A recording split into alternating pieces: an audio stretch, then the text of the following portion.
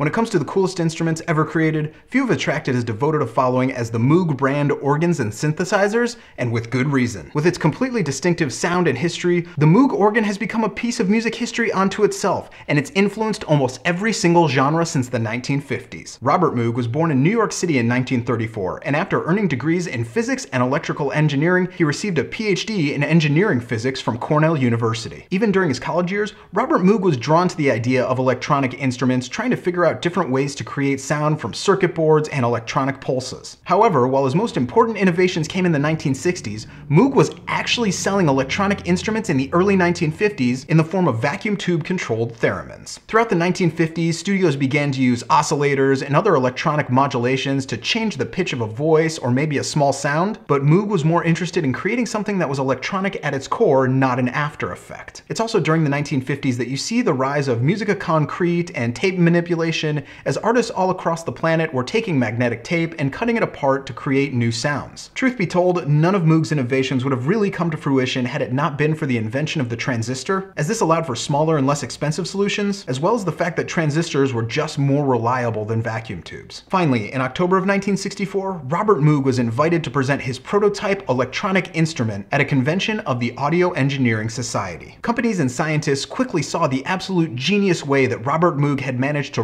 rearrange sounds and structures and found a new way to systemize the input into the keyboard. And in August of the next year, Robert Moog hosted what one can assume was the first electronic music concert at his own workshop. Over the next few years, Robert Moog worked endlessly, coming up with new ways to innovate and improve his musical instruments, finally resulting in the Moog 900 series that would revolutionize popular music. Before the 1960s were out, musicians ranging from Simon and Garfunkel to the Beatles to the Byrds were all using Moog organs on their albums. Though perhaps the most distinctive and clear presence of the Moog sound comes in the entire recorded catalog of The Doors. In 1968, the team of Wendy Carlos and Rachel Elkind released the famous Switched On Bach album, which was a series of works by the famous composer, all being played on a Moog keyboard. The album was a massive success, and it remains one of the biggest selling classical albums of all time. Throughout the 1970s, the Moog sound rose to further prominence, with Stevie Wonder using it almost exclusively across his string of three straight Grammy-winning albums, as well as the Mini Moog being utilized brilliantly with the Mahavishnu Orchestra. Since that time, the Moog synthesizer has remained an absolute absolutely essential part of the music industry across all genres. And while it certainly offers more range and diversity than it did then, it still retains that perfect, distinctive Moog sound. Even almost five decades after it first hit the market, it's impossible to ignore or resist the distinctive sound and groove of the Moog organ. And there's no question in that everything from folk to jazz to punk to blues to rock and roll to every genre you can possibly conceive, it stands as one of the most important innovations and musical instruments that the world has ever known.